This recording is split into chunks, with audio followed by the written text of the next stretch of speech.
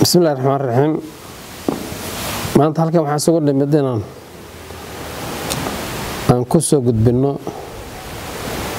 barnaamij aan kaga hadlayno abaarta dalka ka jirta iyo musiibadan iyada ahee ilaahay mooyaane bani aadamka cid ka qaadi karta aan la arkin ee maanta jirta.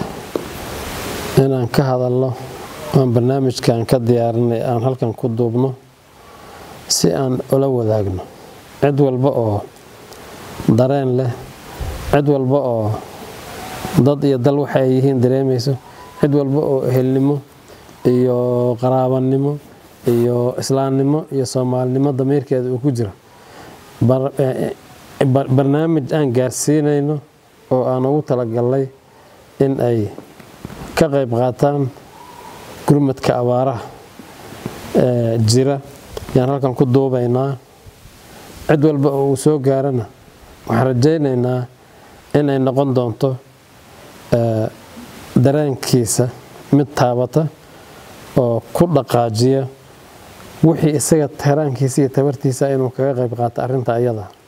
Halkan waxaan ku soo diyaarinay culummadeennii qaybo ka mid ah oo aan ugu talagalnay inay barnaamijkan isaga madax dhig u noqdaan soona jeediyaan haddii ilaahay yidhaahdo iyaga ayaan u daynaynaa. Waxaan wixii codsi ahee wacdiga iyo arintan iyada a duruufta ku aadan diiniyan iyaga marka ay sheegaan ka dambeeyana wixii fikir iyo aragti ah ee aan ku kabi kara annagana ayaan ku kabayna insha allahu tacaala. Si fiican baan arrintan iyada ah yaan u qaadaa dhigi doonaa biidnillaahi ilkariim haddana waxaan uga baxayaa culummada asalaamu calaykum waraxmatullahi wabarakaatu ummadda islaamka inta meesha ila fadhida iyo inta ka maqanba waan salaamayaa khaasatan dadka soomaaliyeed. Salaamta islaamka ku salaamaya. Asalaamu calaykum waraxmatullahi wabarakaatuhu salaan kadib waa sida uu guddoomiyuhu sheegay daahir khayr allah ku jazeeyo in la isxilqaamo oo ummadda la dhaho. Ummadda hawl baa ku dhacday. Ummadda aan wasaa'il iclaamka bimacnaha telefishinada iyo uga faa'iidaysano in ummaddeena wax loo qabto. Waa hawl aad iyo aad muhiim u ah. Taa un baan adkaynaynaa walaalayaal waddankeena iyo deegaankeenna waxaa ka dhacday abaar aad iyo aad u adag baa ka jirta. Oo xaaladdu aad iyo aad bay u adag tahay ninkii ka warhaya unbaa ka warhaya. Walaalayaal ilaahi subxaana wa mucaawano weeye shaygani. In la istacaawunsado mucaawano weeye. Shaygu hadduu mucaawano yahayna shayga keliga aad nafaqada cunaya shayga ummadda bulshada shay ijtimaaciyadaha ka fadli badan. In ummadda wax loo qabto oo ruuxa u sarreeya madaxdii ruuxa ugu hooseeya ummadda si jamaaci wax loogu qabto waa shay fadli badan weeye shayga jamaacigaha ka fadli badan shayga infiraadiga waxa uu ruuxu la baxsado oo ilaahay subxaana wa tacaala ummadda maanta baahan ugu gargaaro. Wuxuu noqon hayaa un aayadda qur'aanka ahayd hal ruux ninka nooleeya fa kaanama axya naas jamiica bimacnaa dadka oo dhan ruux nooleeyey buu la mid noqon hayaa ilaahi subxaana wa tacaala walaalayaal waxaan isagaa keenay abaarta isagaa keenay waana dunuub. Inagu aan geysino wey. Cabdullahi bin cabaas baa nin saxaabiga saxaabada ka mid ah nin taabiciinta ka mid ah ujeeda cabdullahi bin cabaas oo saxaabi ah oo ninkuu nabigu u duceeye ayaa wuxuu arkay nin qur'aanka ilaawey markaa wuxuu yihi qur'aanka waan xifdiyey waana ilaawey wuxuu cabdullahi bin cabaas ku yidhi wamaa asaabakum min musiibati fabaa kasabid marka waxa weeyaan bimacnaa waxa weeyaan wamaa asaaba min musiibati fabaa kasabid mar aayaddaasuu akhriyey. Bimacnaa waxa weeyaan qur'aanka waxaad la ilowday waa dunuub adigu aad gashay buuri marka hadda abaartani waxay ka dhacday dunuub inagu aan gallabay abaartani la timid walaalayaal.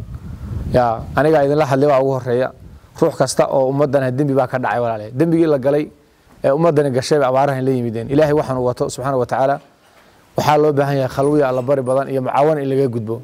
Waxaan aad iyo aad aan u adkiidinaynaa walaalayaal in ummaddan loo gurmado oo ummadda ninkii maanta mucaawanahayo waxa weeyaan maanta waxaad baxsatahay waa lama laab wey. Waxaa jirta ruuxu markuu dhinto ilaahay subxaana wa tacaala wuxuu odhanaya hebelo waan gaajooday.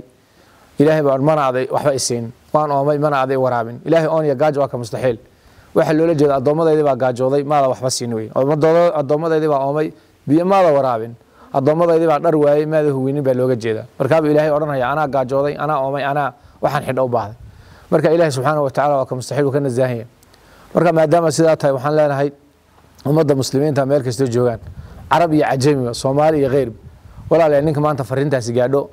Dalkan maanta waa dalkii wax loo qaban lahaa wey ya maanta ninkii waxayaayey ama xafiis waxa ku hayo madax ha noqdo ama ganacsi ha ku hayo ama shirkad kale ha noqdo oo wax kaloo ganacsi isaga gaar ha noqdo wax dooni ha noqdo hanti caam iyo hanti khaasa ninka hayaay maanta waa fariintii loo baahnaa in ummadda la gaadhsiiyo. Ya masaajidada waan ka sheegnaa oo culimadu way wadaan. Meel walbana waa laga sheegaa jamcooyinka o dhan baa lagu soo qaataa. Waa lagu soo qaataa abaaro adag baa jira. Walaalayaal waxaan doonaynaa maanta inay fariintaasi si khaasa ummadda ay u gaadho.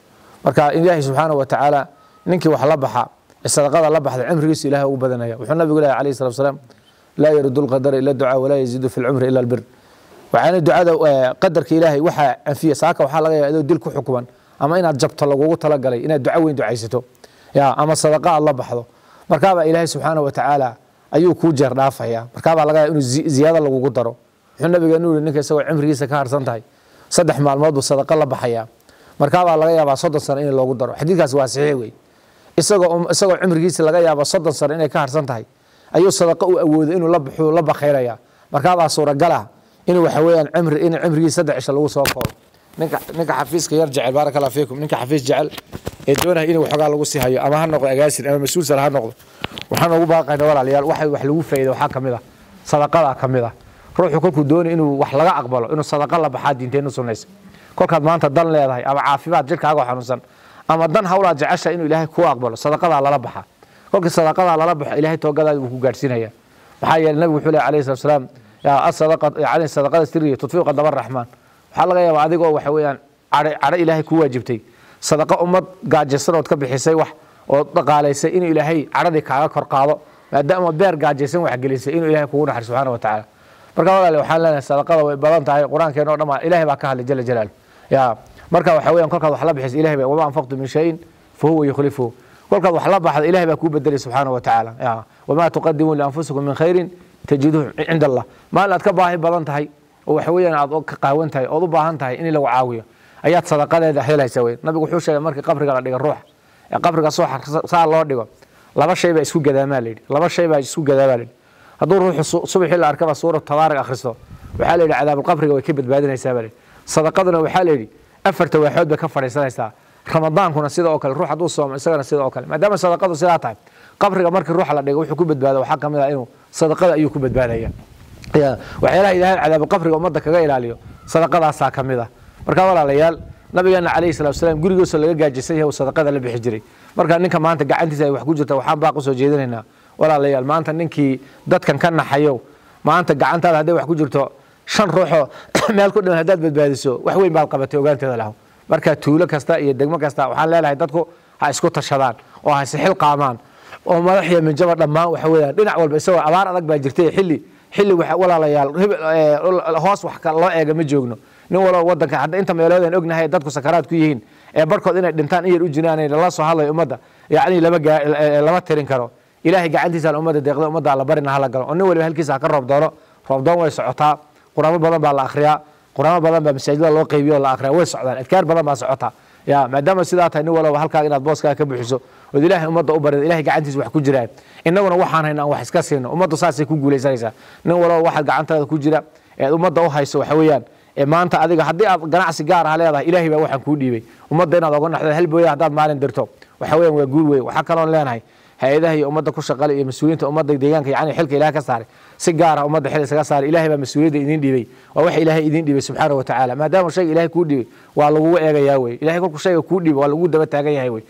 Dadka ganacsatada ah inay isxil qaabaan oo nin waliba booyada iyo wixii aad diri karta inaad dirtaan ninkii wax qabtana loogu duceeyo. Ama madax ha ama minja ha war ninkii wax qabtay ummadda baahideeda ka jawaaba inuu meeshii la joogo loogu duceeyo lo dhaha ninkaas wuu mahadsan yahay. Degmadaas maanta booyad u diray aad buu umahadsan yahay la dhaho aad iyo aad ba walaalaya hawshaan waan ka codsanayna ummad oon loo arag. Yacni in kan lagu xumayna kan lagu xumayn ku xadhi waxa weeyaan maanta barnaamijkaan meeshan u fadhina ummadda in wax loo taro wey. Ummadda ninkii wax u tarayo waa lagu baahanya waa maalinkii loo baahnaa wey. Waxaa laga yaabaa jaaris dambe maanta hadday hanti gacanta ku hayso inuu ilaahayba kaa wareejiyo jaaris dambe aadan helin baa laga yaaba ama aad dhibato ama hantiduba kaa baaba'do ama cudur iyo wax kaaga dhacaan. Marka maadaama sidaa tahay maanta xaaladdu taagan tahay waxaan codsanaynaa ummadda meel kastoo joogaan in ummaddan abaaraha ka soo gaadhaan. Waxay tari karaan in la soo gaadhaan. Oo ilaahayna u baryaan yani adducaau silaaxu lmumini wey. Nabigu sal lla slam wuxuu yihi ducadu waa hubka muminka wey. Alla bari badanna la galo xaqiiqatan dembi aan gallaybu ilahay nagu ciqaabaya. Sanadkii hore sanadki ka hor waagii yani muddo ayga hadda hal sano ka horeyd rabxaadkii meeshan ka dhacay qabalqabalaa la qabsada waa la iswada ilaahay kolkuu arkay sidaan nahay. Ayuu abaar inoogu dabariyey baaraka fiikum. Marka waxaan leenahay ummadda ilahay u toobad keenta ninkii wax gacantiisa ku jirayna ummadda maanta hala soo gaaraan leenahay baaq dheer iyo baaq gacan baan ku daraynaa culimiya caamo ganacsato madax dowlad shacab ururada dhammaan nin waliba war nin waliba ummadda meesha aad ka dabooli karta ka dabool. Maxaa yeele nabigu wuxuu lehay alayhi salatu wasalaam nin waliba diinta waxaad ugu jirtaa fogore xaggaaga ayaan looga soo dhicin. Baahida ummadda nin waliba waxaad kaga jirtaa boos. Boos baad kaga jirtaa. Nin waliba nabigu wuxuu lehay alayhi salatu wasalaam diinta waxaad kaga jirtaa boos baad kaga jirtaa fangortaada iyo qaybtaada ayaa looga soo dhicin hal boyd maanta haddaad degmo waraabin karto adoo ninaba u sheegin waxa weeyaan way fadl nin walba waxa weeyaan hawshaada ka qayb qaado intaasaan kolley walaalahay baan oga baxaya oo iyaguna culimo kale ila fadhiya oo iyaguna hawlahan maanta inay cod dheer dadka u gudbiyaan marka aad iyo aad baan idin salaam asalaamu calaykum waraxmatullahi wabarakatu marka waxaan kusoo dhaweynayaa sheekh cali baan kusoo dhaweynaya oo garabkayga fadhiya بسم الله الرحمن الرحيم الحمد لله رب العالمين والصلاة والسلام على أشرف الأنبياء والمرسلين سيدنا محمد وعلى آله وصحبه أجمعين dhammaanba ummadda soomaaliyeed meel kasta oo joogaan waan salaamayaa salaan kadib waxaa dhameeyey sheekh igu horeeye sheekh axmed nuur. Cumrigiisa iyo caqligiisaba allaha barakeeyo. Runtii arintan maanta meeshan isugu nimid waa arrin aan u malayn ummadda soomaaliyeed meel kasta oo joogtaba inay ka wada dheragsan tahay oo ahaa arrimaha abaaraha ee deegaanka ku habsaday oo dadkii iyo duunyadii midnaba aan waxba ka tegin. Runtii waxaan baaq dheer oo maxaanku dhahay meelo badan taaban haya aan u soo jeedinhaynaa dhammaanba ummadda muslimiinta ee wax ilaahay u dhiibay. Hadday tahay mas'uuliyiintii iyo dowladdii deegaanka hadday tahay shirkadaha gaarka loo leeyahay hadday tahay ganacsatada ruux kasta oo ilaahay jeebkiisa uu waxgeliyey oo hanta uu dhibay inay ummaddaas waxay u tari karaan ay u taraan waa siduu sheekhu sheegay waxaa weeye musiibo. Aynu inagu iyo dembi aynu la nimid unbuu ilaahay uu musiibadan uu inagu inagu riday. Waa dembi aan inagu gallay un. Ilaahay inooma waayin raxmaddiisa iyo madarkiisa inooma waayin. Dembigaan inagu gallay unbaa laynagu tusinhayaa inaan nahay addoommo tabar daran oo kibray. Marka nabigu calayhi salaatu wasalaam wuxuu leeyahay wallahu fii cawni alcabdi maa kaana alcabdu fii cawni akhayh ilaahay kama zuulahayo addoonka kaalmihiisa iyo gargaarkiisa inuu yahay maa kaana alcabdu fii cawni akhayh intuu yahay addoonku walaalkiisa kale ee muslimka ah kaalmihiisa iyo gargaarkiisa uu isaguna uu taagan yahay. Waxaa marka xadiidka laga qaadanhayaa in raxmadda iyo naxariista ilaahay in lagu helo ruuxa muslimka ah ood u gargaarto oo wuxuu u baahan yahay iyo baahiyaadkiisa aada wax kala qabanayso. Xadiidkii kale waa kii ahaa kullu kabadin radbin sadaqa beer kasta oo qoyan noocu dooniba ha ahaade ama muxtaram ha ahaado ama hayr muxtaram ha ahaado beer kasta oo qoyan oo aad waxa kolkaa dhibka haysta aada wax oga qabat inay sadaqa ay tahay xadiidkaasna naagtii waxaa loo soo qaatay iyada lafteeda oo u ahaa zabnazuul u ahaa ahayd zaaniyadda ahayd ay ooman oo meel ku rafaadsan oo caradii leefleefaya intay aragtay ay biyaha waraabisay nabigu markii la weydiiyey saasuu ku jawaabay waxaan markaa dhammaanba ummadda soomaaliyeed meel kastoo joogaan ummadda islaamka ahaa cid kasta oo dadkan rafaadsan ee ooman wax u qaban karta.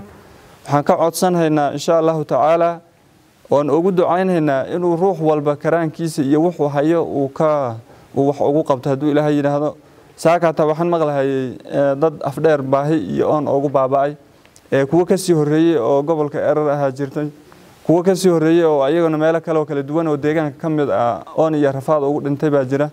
Waxaan marka dhammaanba shirkad iyo shaksi iyo mas'uul iyo culimo iyo caamaba ruux kasta oo ilaahay uu wax u dhiibay inuu ummaddaas wuxu uu ka qaban karo uu u geysan karo hadday noqoto biyodhaam iyo hadday noqoto intifaac kale oo la siiyaba waxaan u malayn hadda wax hanti ahoo hadhay wuu yaryahay nugulkii welibana wuu dhammaaday.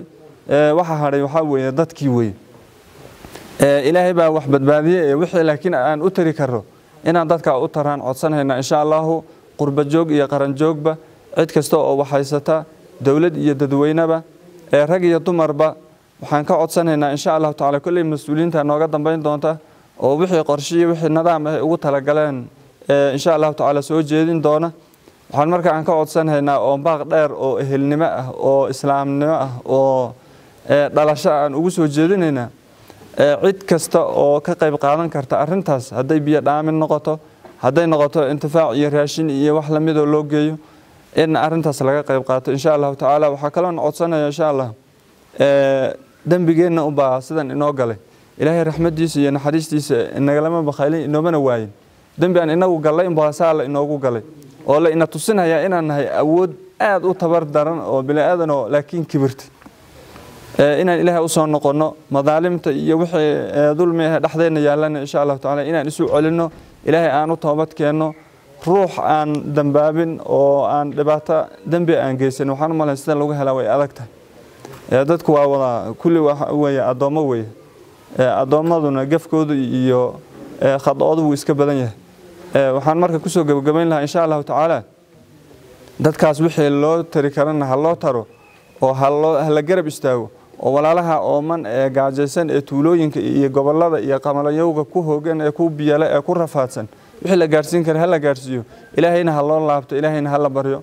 Asalaamu calaykum waraxmatullaahi wabarakaatu بسم الله الرحمن الرحيم الحمد لله رب العالمين والصلاة والسلام على أشرف الأنبياء والمرسلين سيدنا وحبيبنا محمد وعلى آله وصحبه ومن تبعهم بإحسان إلى يوم الدين وقد قال الله تعالى في محكم تنزيله يا أيها الذين آمنوا اتقوا الله حق تقاته ولا تموتن إلا وأنتم مسلمون واعتصموا بحبل الله جميعا ولا تفرقوا واذكروا نعمة الله وقد قال المصطفى صلى الله عليه وسلم اتق الله حيثما كنت واتبع السيئة الحسنة تمحوها وخالق الناس بخلق حسن أو كما قال المصطفى صلى الله وسلامه عليه وقال المصطفى صلى الله عليه وسلم اتقوا النار ولو بشق التمرة إخوة الأعزاء ولا لهم بعد ميي مشايخدي ورسي خير الله سيو waxaan kaga noqdaa hadda anu ma garanayo laakiin arintaa baaqa ay dirayaan baan ana xoojinaya ikhwata laisa waxaan idinka codsanaynaa muslimiinta meel walbay joogtaba cid kasta oo mas'uula ama cid kasta oo qof kasta oo ummadda muslimiinta ka mid a waxaa loo baahan yahay inuu ka murgo arrimaha muslimiinta iyo umuuraha iyo dhibaatooyinka haysta. Qofka aan ka murgin dhibaatada ama culeysada ummadda haysta qofkaan ka murgin falaysa minaa buu rasuulku salawaatullahi wasalaamu calayhi.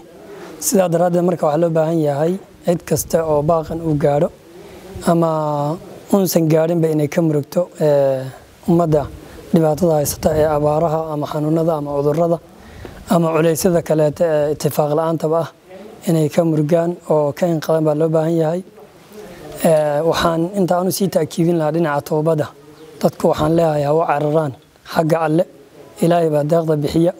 Wax gacan bilo aadmi ku jirtaay meel ma gaadho. Marka dadka waxaan leenahay u noqdaan inay alle u toobad keenaan.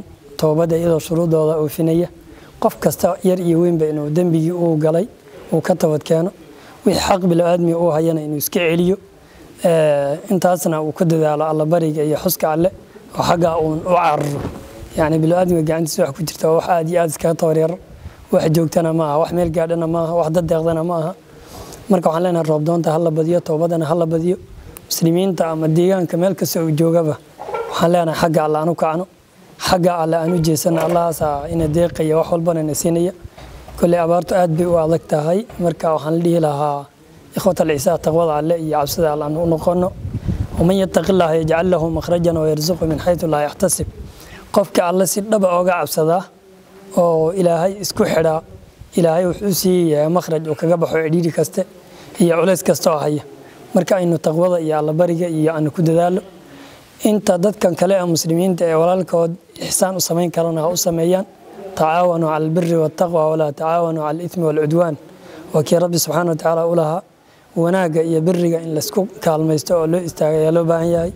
Xilligan oo kale waa xilligii nebi maxamed salawatullahi wasalaamu calayhi tii roob roobdoon la yidhaahdo ay roobabku socon jireen ilaa isbuucyo. Marka waxaa loo baahan yahay dadka muslimiinta ama dadka culimada ama dadka ilulaahiga inay u roob dadka oo ilaahay u baryaan. Si khaas oo dhaba ilaahay u baryaan. Intaasaan kolley ku soo ururin lahayn asalaamu allah calaykum waraxmatullahi tacala wabarakaatu